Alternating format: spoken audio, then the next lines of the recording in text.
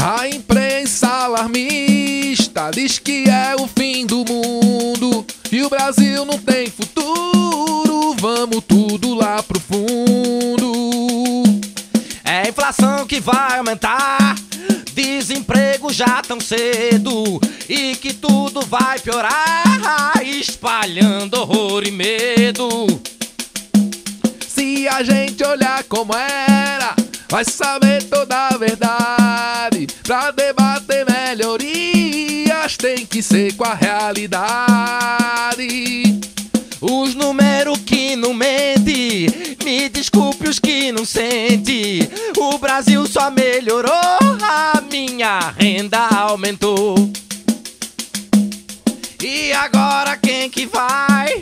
Vai fugir desse embate. Vamos ver quem tá com medo debate.